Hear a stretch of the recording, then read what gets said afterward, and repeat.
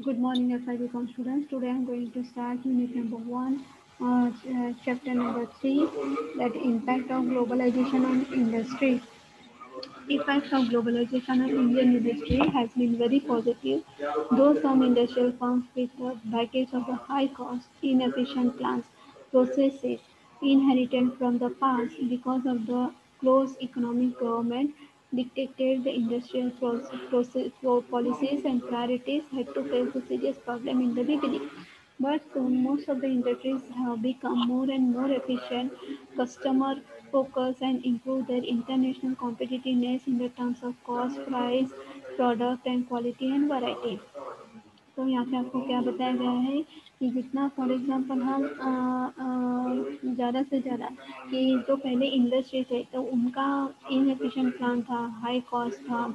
फिर उनके कुछ प्रॉब्लम्स थे प्रोसेस उनका ठीक नहीं था तो जिसकी वजह से उनको बहुत सारी प्रॉब्लम को फेस करना पड़ा। लेकिन आज क्या होता है कि कंपटीशन बढ़ रहा है। हर एक इंडस्ट्री को अपने अपने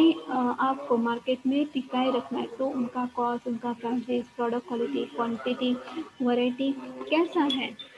उसमें वो ज़्यादा से ज़्यादा ध्यान दे रही है। The industrial growth has become very how and strong during the past decade because of the globalization exports how increase the tremendously and Indian industry are also expanding effort foreign companies have substantially invested their investment in the Indian industries. तो यहाँ पे क्या बताया गया कि industrial growth कैसा हो रहा है यहाँ पे ज़्यादा से ज़्यादा हो रहा है बिकॉज़ ऑफ़ ग्लोबलाइजेशन क्योंकि मल्टीनेशनल कंपनीज़ हमारी इंडिया में आ रही है और जितना ज़्यादा हम एक्सपोर्ट करते हैं तो उसका, उसकी वजह से क्या हो रहा है कि हमारी इंडस्ट्रियल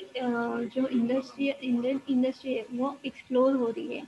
और फॉरेन कंपनीज़ भी अपना इन्वेस्टमेंट इंडियन इंडस्ट्री में कर रही है the wages of industrial labor has increased substantially as they have become very productive. Lockout and strikes have declined to significantly low levels because the industrial labor is happy. Those who cannot be efficient and the past their time, past their prime age, cannot adjust themselves in the modern methods and processes have been retired with a very attractive voluntary retirement scheme. तो पास में इतना ज़्यादा होता था कि हाँ wages नहीं मिल रहा है या सैलरी नहीं मिल रहा है तो हड़ताल हड़ताल पे हम बोलते कि लॉकआउट पे और स्ट्राइक्स पे उतर जाते थे। लेकिन आज क्या हो कि इंडस्ट्रियल लेबर इज़ हैप्पी कि अभी उनको एफिशिएंट मीन्स या एफिशिएंट उनको सैलरी मिल रहे वेजेस मिल रहे हैं। और जो लोग अपने आप को नो मॉडर्न मेथड में मीन्स मॉडर्न मेथड में अपने आप को एडजस्ट नहीं कर पाते तो उनके लिए वॉल्टरी रिटायरमेंट स्कीम यहाँ पे दिया गया है। मीन जल्दी वो वॉल्टरी रिटायरमेंट ले सकते हैं। Then the trade unions are finding it difficult to influence the industrial workers in to the agitation agitation because the labour have positive fallout of the globalization on the prosperity and the growth of the industrial sector. Talented and uh, merited labor is commanding premier compensation in the labour market तो यहाँ पे क्या बताया क्योंकि जो trade union है तो trade union के लिए क्या हो रहा है कि ट्रेड यूनियन है उनके लिए इंडस्ट्रियल वर्कर्स पे इंडस्ट्रियल वर्कर्स पे इन्फ्लुएंस करना ज़्यादा मुश्किल हो गया, क्योंकि अभी लेबर बढ़ रहा है लेबर को पॉजिटिव इन्फ्लुएंस पॉजिटिव इम्पैक्ट मिला कि वो काम करें, उनका उतना वेजेस मिल रहा है प्रॉस्पेरिटी मिल रहा है इंडस्ट्रियल सेक्टर बढ़ रहा है तो जिसकी वजह से वो जो टैलेंटेड और मेरिटेड लेबर होते हैं, उनकी डिमांड बढ़ रही है, उनका लेबर मार्केट भी बढ़ रहा है। The next point is several new types of the industries have also come up. Small scale industries of the past has fast grown into the medium scale companies. अभी क्या हो रहा है कि अभी छोटे छोटे इंडस्ट्रीज़ भी आपको दिखाई दे देते हैं अभी जो पहले जो स्मॉल स्केल पे थी, वो मीडियम स्केल पे उनका ग्रोथ हो रहा है मीडियम स्केल पे उनकी कंपनीज़ बढ़ रही है और जो कंपनीज़ मीडियम स्केल पे थी, अभी वो इंटरनेशनल स्केल पे काम कर रही है incident in the industrial sickness has gone down drastically that industrial workers are becoming richer and following increasing demand for and the wages of the industrial labor resulting from the liberalization and the globalization तो क्या होता है कि अभी जो पहले जो strikes वगैरह था या हल वेजेस नहीं दिया जाता था या लेबर लेबर लेबर वर्क किया करवाया जाता था, उनको लो वेजेस दिया जाता था, लेकिन आजकल ऐसी प्रॉब्लम नहीं है। लेबर वर्क तो करवाया जाता है, पर उनको उतना पैसा दिया जाता है तो जिसकी वजह से क्या होता है इंडस्ट्रीज़ ग्रोथ बढ़ रहा है। और जो लिबरलाइजेशन है, वो भी लिबरलाइजेशन और ग्लोबलाइजेशन की वजह से इंडस्ट्रियल लेबर भी बढ़ रहा है, उनका डिमांड बढ़ रहा है। The next point is weakening power of the trade unions. Over the labor in emerging industries and the growth sector like IT, entertainment, mobile services, airlines, banking and insurance services. तो trade union का जो हम बोलते कि labour work में या industry में जो पावर जैसे कम दिखाई देते हैं तो वहाँ पे आपको देखिए दूसरा दूसरी जगह इंडस्ट्री जैसे कि आईटी कंपनी है वहाँ पे एंटरटेनमेंट कंपनी है मोबाइल सर्विसेज़ है एयरलाइंस है बैंकिंग है इंश्योरेंस सर्विसेज़ तो यहाँ पे आपको लेबर वर्क ज़्यादा दिखाई देता है too much competition in the market leading the continuous pressure on the rising productivity and enhancing the consumer services and improving the product quality in order to survive. तो competition को बढ़ाए रखने के लिए और अपने मार्केट में मार्केट में अपने आप को सस्टेन करने के लिए, जैसे कंज्यूमर की डिमांड बढ़ी है तो कंज्यूमर की डिमांड के साथ साथ कंज्यूमर सर्विस उनको भी इंडस्ट्री को देना चाहिए प्रोडक्टिविटी पे ध्यान दे रहे हैं क्वालिटी पे ध्यान दे रहे हैं। That voluntary retirement for many public sector unit तो जो वॉल्टरी वॉलेंटरी वी की हम बात करते हैं तो वो सिर्फ़ पब्लिक सेक्टर में है प्राइवेट सेक्टर में नहीं है। Then too many sales person chasing customers यहाँ पे फॉर एग्जांपल आपने बहुत सारे ऐसे सेल्समैन या सेल्स गर्ल को देखा होगा, या जो यंग जनरेशन है तो वो क्या करते हैं कि फॉर एग्जांपल उनको एक अनुभव के तौर पे वो सेल्समैन बन जाते हैं कुछ भी काम है तो करने के लिए रेडी हो जाते हैं, जिससे वो ज़्यादा से ज़्यादा कस्टमर को अट्रैक्ट करते हैं और उनको वैसा कमीशन दिया जाता है। Too many cars on the roads and traffic congestion तो इसकी वजह से क्या होता है कि फॉर एग्जांपल कि आप देखते होंगे कि हाँ फॉर एग्जांपल हमने पिज़्ज़ा ऑर्डर किया है तो थर्टी मिनट्स में पिज़्ज़ा वो कहीं पे भी पहुँचना चाहिए। तो जैसे हम बोलते हैं कि कभी अपने आप को एक दौड़ में लगाए हुए हैं कि जिसकी वजह से फॉर एग्जांपल मुझे जल्दी पहुँचना है तो आपको ज़्यादातर रोड पे कैसा दिखेगा? कार ज़्यादा दिखेगी ट्रैफ़िक कंजम्पशन ज़्यादा चला फिर ग्रोथ ऑफ़ कंज्यूमरिज्म तो कंज्यूमरिज्म बढ़ जाए डिमांड बढ़ जाए सप्लाई भी बढ़ जाए then instability instability in the profit due to too much choice among the customer. Yes, profit की जब हम बात करते हैं तो उसमें थोड़ा सा इंस्टेबिलिटी दिखाई देती है, क्योंकि कस्टमर को ज़्यादा से ज़्यादा चॉइसेस दिया जाता है। The shortage of the power and the infrastructure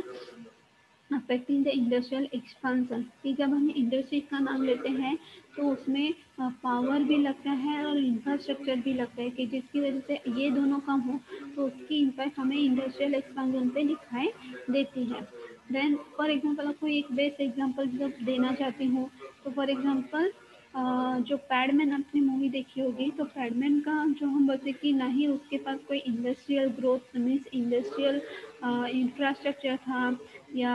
power जो था हाँ उसके पास काम, पहले तो उसके पास पावर भी नहीं था मीन्स उसके था, उसके अंडर काम करने वाले लोग नहीं थे लेकिन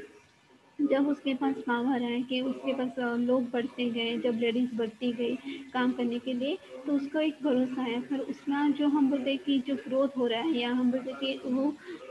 इंफ्रास्ट्रक्चर होगा, वो दिन ब दिन बढ़ता जाएगा। ऐसा दिखा नहीं है, लेकिन ऐसा हो सकता है। तो क्लोजर और inefficient unit supplying the costly the product and loss of job तो जब हम बोलते हैं कि closure of inefficient unit कि फॉर एग्जांपल जैसे पावर कम हो या इनसफिशियंट हो इनएफिशिएंट हो तो प्रोडक्ट्स और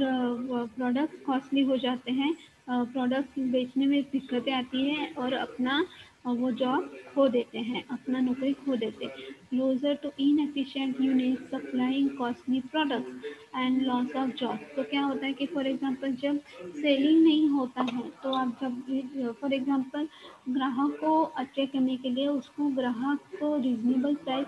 होना ज़रूरी है। लेकिन आप फॉर एग्ज़ाम्पल बढ़ा चढ़ा के दाम रखोगे तो ग्राहक आपके पास नहीं आएगा। रिजनेबल रेट पे आप रखोगे तो आपका भी प्रॉफिट होना चाहिए और उसका भी उसको भी माल मिलना चाहिए उसको भी सर्विस सेटिस्फेक्शन होना चाहिए। तो ये दोनों बातें यहाँ पे याद रखनी है।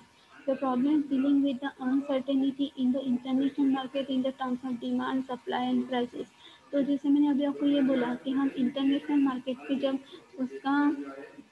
कंपटीशन होता है तो ये तीन चीज़ें ज़्यादा इम्पोर्टेंट हो जाती है डिमांड एक तो सप्लाई और उसका प्राइजेस ओके फॉर एग्जांपल मैं आपको एक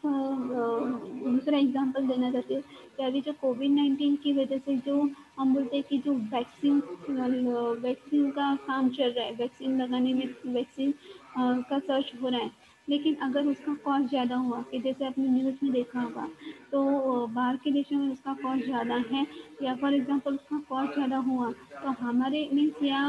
बाहर के देशों में नहीं, लेकिन हमारे देश में भी अगर उसका कॉस्ट ज़्यादा हुआ तो ऑर्डिनरी पीपल जो हम मिडिल क्लास के जो लोग हैं उनकी जो जेब खर्ची होगी तो उसका पूरा का पूरा उसमें चला जाएगा। और जो हम बोलते हैं कि पुअर लोग पुअर पीपल है उनको कुछ इफ़ेक्ट नहीं होता। आ, उनको कुछ इफ़ेक्ट नहीं होता। मीन्स किस मीन्स में उसको इफ़ेक्ट नहीं होता कि वो टीका लगवाने ही नहीं जाएँगे। मीन्स कि फॉर एग्जांपल उसका रिजनेबल रेट होगा तो सभी लोगों के लिए वो ठीक ठाक इस्तेमाल हो सकता है। Next point is change in the employment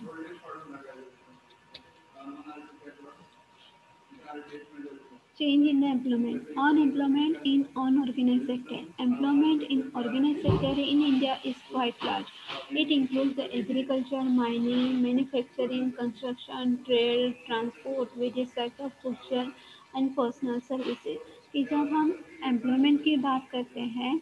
तो अनऑर्गेनाइज सेक्टर में प्राइवेट कंपनी में वो सबसे ज़्यादा है और उसमें आता है कि फॉर एग्जांपल एग्रीकल्चर है माइनिंग है मैन्युफैक्चरिंग है कंस्ट्रक्शन वर्क है ट्रेड है ट्रांसपोर्ट है वेरियस टाइप्स ऑफ़ पर्सनल और सोशल सर्विसेज़ है उसमें एम्प्लॉयमेंट ज़्यादा है। तो only important motive of all private companies is to maximise their profit to achieve the maximum profit the company is required to minimise its cost of production कि अगर company को अपना maximum profit कमाना है, उसके जो प्रोडक्शन है, उसका जो प्रोडक्शन का जो रेट है, वो थोड़ा कम करना पड़ेगा। It is possible only with the use of latest technology more capital investment automation of number of processes of production, and reduction of excess labor by the retrenchment by offering voluntary retirement scheme तो ये किस तरह से possible है कि बाबा, जब capital investment यानी कि कोई एग्जांपल कोई भी फॉरेन कंपनी जब उसकी कंपनी में इन्वेस्ट करती है, तब पॉसिबल है? दूसरा है कि ज़्यादा से ज़्यादा लेटेस्ट टेक्नोलॉजी का इस्तेमाल किया जाए। फिर जैसे फॉर एग्जांपल कि जितना ज़्यादा लेटेस्ट टेक्नोलॉजी का इस्तेमाल किया जाएगा तो उसके लिए लेबर वर्क कम हो जाएगा। कि फॉर एग्जांपल पहले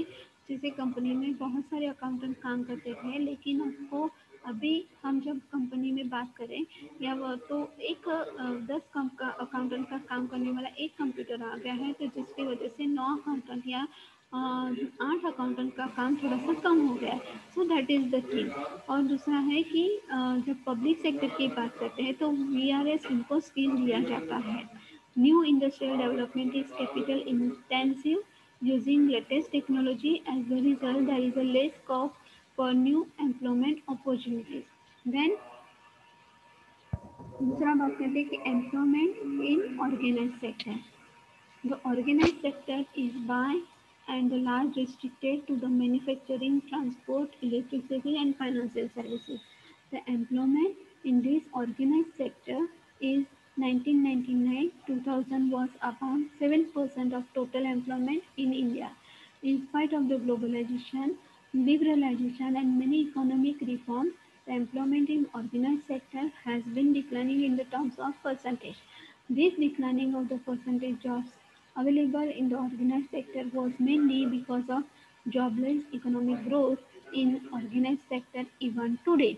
तो जब हम ये जब पहला हम बात किया तो वो प्राइवेट कंपनी का बात किया था। अभी हम ऑर्गेनाइज सेक्टर में पब्लिक सेक्टर की बात कर रहे हैं। तो पब्लिक सेक्टर में उन्नीस सौ निन्यानवे से लेके 2000 तक जितना भी आपको सेवन परसेंटेज एम्प्लॉयमेंट दिखाई देता है तो उसके हिसाब से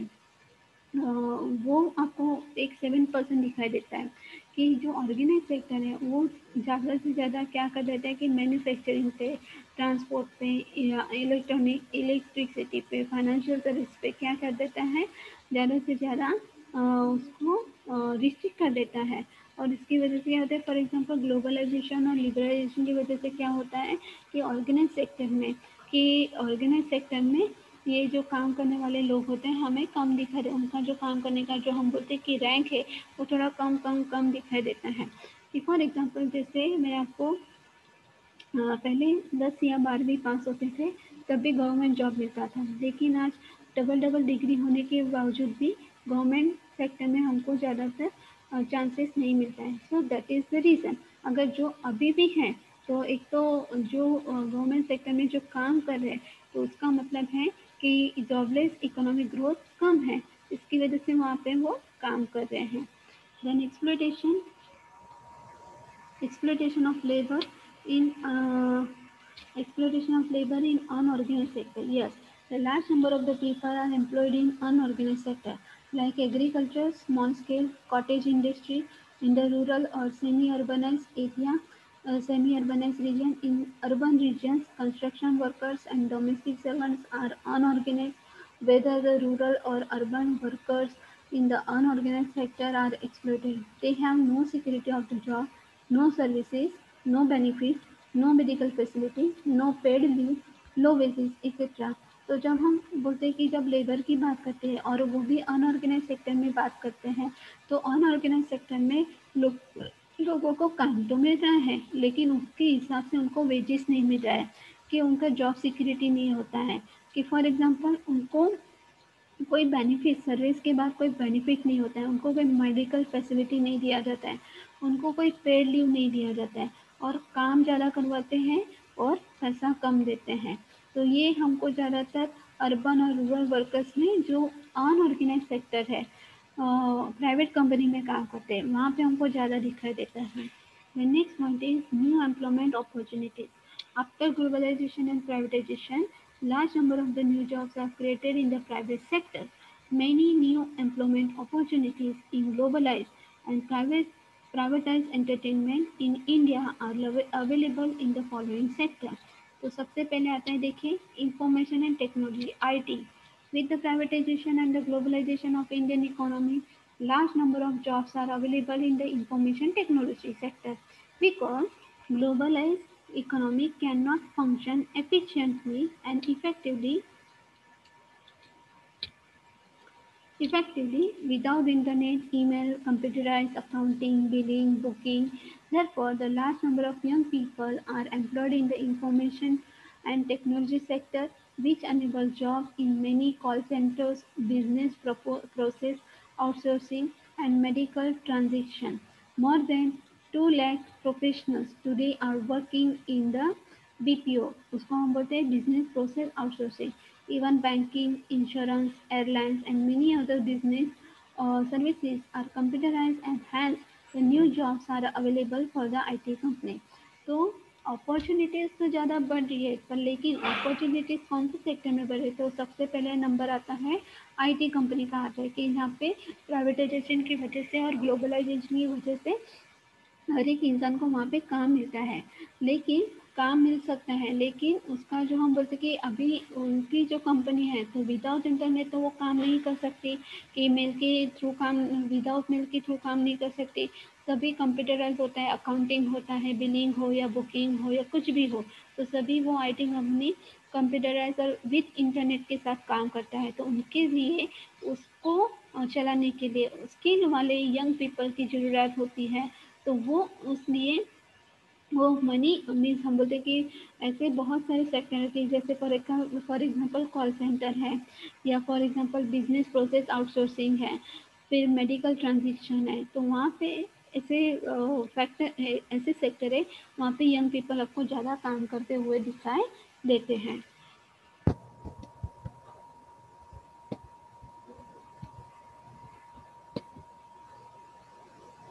Then next point is telecom. Like IT, the telecom services is the another sector growing in the privatized and globalized economy of India. Today, the Indian telecom industry directly employs over the 4 million people. Seems like Sergi, good idea is making Dil Jo Chahe Pass Aaye, uh, Pass a reality with the network providers being happy to help. There are more than 840 million mobile phones users now spread across the country, which twice the population of the USA, with 220 million handsets projected to be sold in 2011-12 in the country. India has also seen the rise of several homegrown handset companies. तो telecom की हम बात करते हैं तो like IT company है telecom services होते हैं तो ज़्यादा से ज़्यादा इंडिया में बढ़ रहे हैं तो उसके लिए जो हम बोलते हैं कि इंडस्ट्रीज़ में जो एम्प्लॉय करने वाले लोग हैं, वो फोर मिलियन है और जैसे फॉर एग्जांपल हर एक इंसान के पास अलग अलग कंपनी का हम बोलते हैं कि नेटवर्क आईडी रहता है नेटवर्क कार्ड रहता है कि फॉर एग्ज़ाम्पल कोई इस्तेमाल करे कि आइडिया है तो उसके लिए आप लोग देखिए क्या लोग sir ji good idea okay तो जैसे फॉर एग्जांपल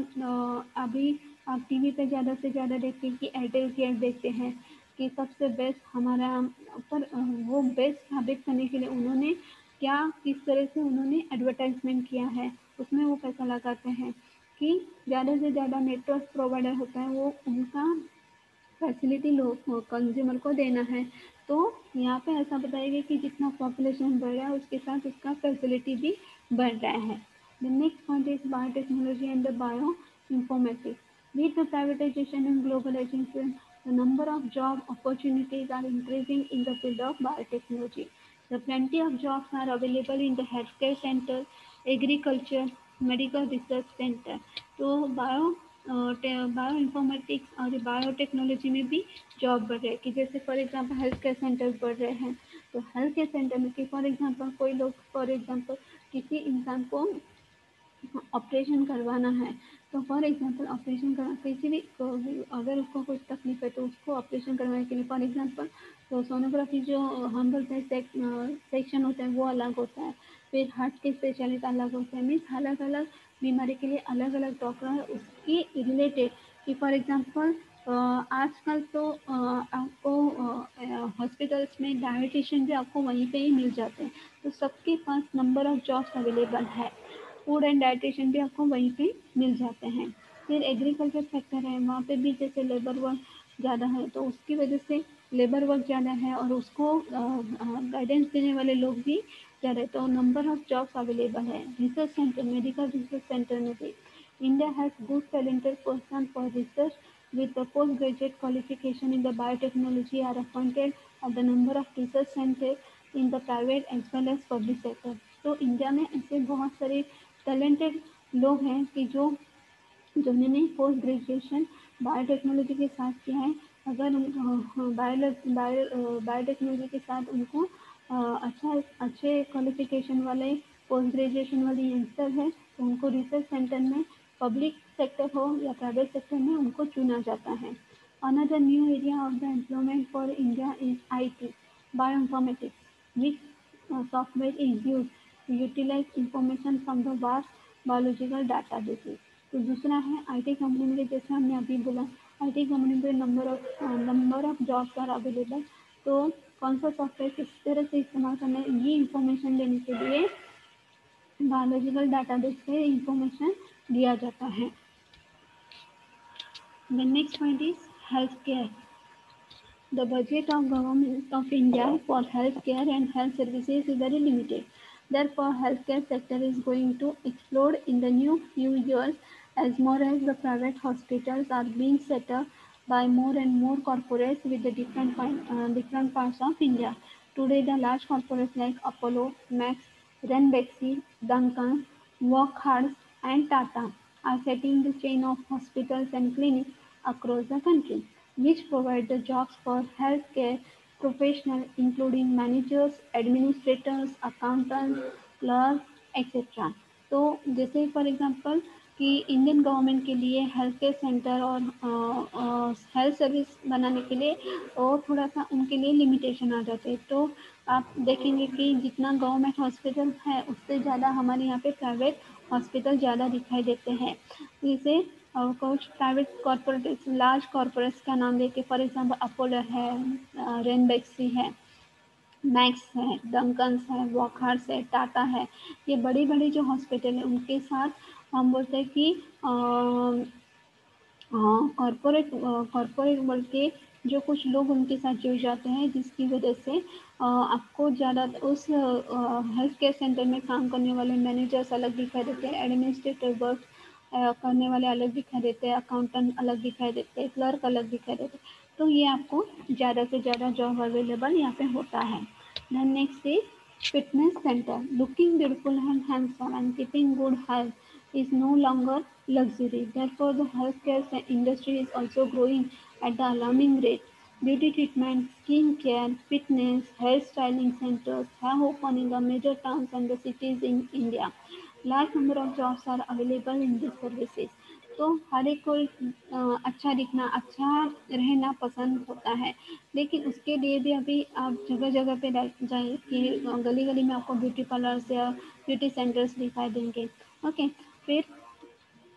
जैसे फॉर एग्जांपल ब्यूटी ट्रीटमेंट देते हैं स्किन ट्रीटमेंट देते हैं, और फिटनेस ट्रीटमेंट देने वाले हेयर स्टाइल सेंटर्स होते हैं तो ये बहुत बड़ी बड़ी सिटी में आपको हर जगह पे दिखाई देते हैं। तो ये मीन्स नंबर ऑफ़ जॉब की आपके लिए अवेलेबल है। Then next point is entertainment industry with the population, with the popularity of the radio in the early days and the television today, the entertainment industry provide a large number of the jobs to talented person in the field of performing arts such as drama music dance and cinema other fields of employment in the entertainment industries are radio jockeys music video designer audio recorders dance choreographers multimedia expert तो अभी entertainment industry भी बढ़ तो entertainment industry के साथ कि सबसे पहले जब रेडियो और टेलीविज़न के दिन थे, तब से एंटरटेनमेंट इंडस्ट्री चले। लेकिन आज एंटरटेनमेंट इंडस्ट्री बहुत सारे लोगों को काम देती है। फॉर एग्जांपल से कभी रेडियो पे या टेलीविज़न पे ये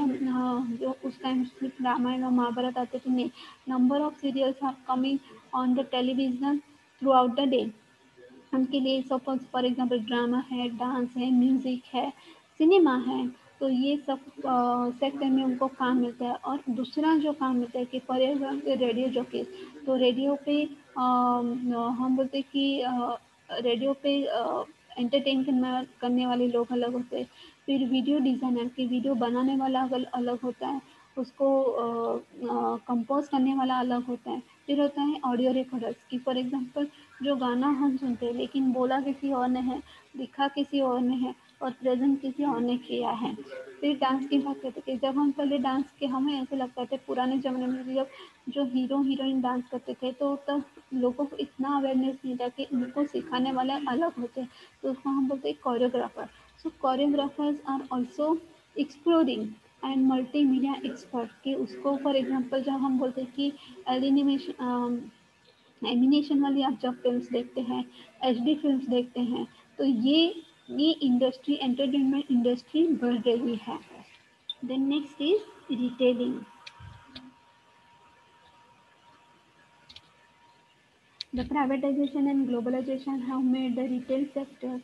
the second largest employment sector in India. There are more than 100 shopping malls in India which provide jobs to more than 50,000 persons. Big Bazaar, Food Bazaar, DMart are more, more than few examples are shopping mall. अभी retailing है privatisation और globalisation की वजह से retail sector भी बढ़ रहा है। तो जैसे हमारे देश में पहले बिग बाज़ार नहीं था बिग बाज़ार बढ़ रहा है। बिग बाज़ार आपको दिखाई देता है फ़ूड बाज़ार दिखाई देता है डीमार्ट दिखाई देता है आर मॉल दिखाई देता है, ऐसे बहुत सारे मॉल या हम बोलते हैं कि शॉपिंग सेंटर या शॉपिंग हाँ शॉपिंग मॉल इंडिया में अवेलेबल है। जिसकी वजह से कंज्यूमरिज्म बढ़ रहा है।